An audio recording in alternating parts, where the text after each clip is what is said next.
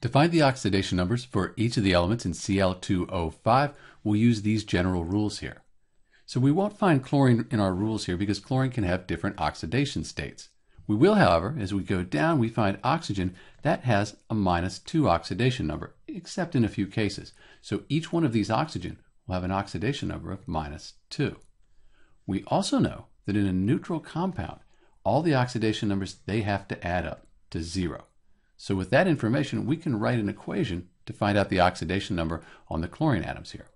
So let's say the chlorines are X, we don't know those, and we have two of them, and we add to that the oxidation numbers of the oxygen. So oxygen's minus 2, but we have 5 of them. And all of that needs to add up to 0 because it's a neutral compound. So we have 2x minus 10. That equals 0. So x will equal a positive 5. So the oxidation number on each one of the chlorine atoms is plus 5. If we were to add up all the oxidation numbers for each element, we could take 2 times plus 5, that's plus 10. 5 times minus 2, that's minus 10. Plus 10 and minus 10, that'll give us 0. So to recap, we found the oxidation numbers for the element we knew.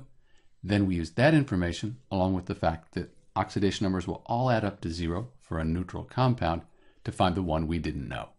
This is Dr. B with the oxidation numbers for Cl2O5, dichlorine pentoxide. Thanks for watching.